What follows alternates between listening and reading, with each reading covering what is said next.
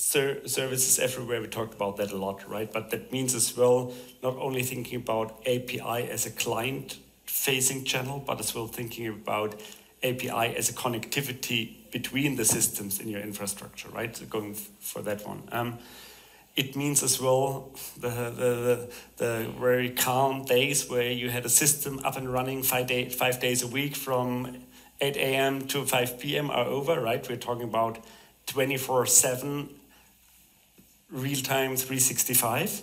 And that does not only mean on, yeah, uh, uh, on your core payment stack, that means all the surrounding systems and infrastructures as well because at the end you need to be able to do limit checks you need to do uh, sanction screening you need to do your fraud checks all of that right so that clearly means you need to think about different technology um, and then as greg said on the cloud journey right frankly speaking the clients don't care too much whether we are on the cloud or not in many cases right as long as it's not a client facing solution but a pure bank infrastructure but it, just makes sense to do it, right? Because it helps to scale much more easily. It helps to have a more modernized stack, etc. So that's why I would say not from a client experience roadmap necessarily, but from a overall technology strategy is absolutely the right way to go.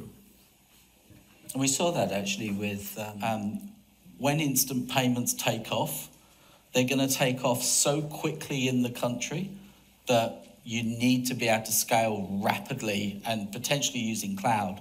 Because if you're relying on you know standard typical data centers it's going to catch you out very quickly. But we don't see the same